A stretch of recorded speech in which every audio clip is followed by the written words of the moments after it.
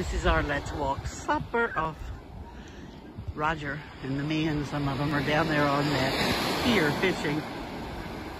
And Roger must have wanted to go. Kayla was asking what time he wanted supper. And she named several times. And then in a little bit he named the time that it was right then. And she said, you want supper now? He said, yes, I want supper now so that I can eat before I go. And she got up and fixed supper.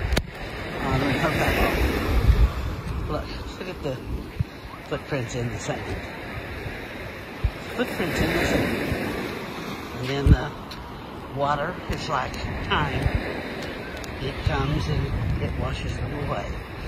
But right now, these are my generations. They're walking in the sand.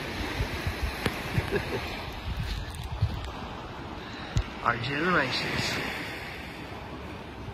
walking by the ocean,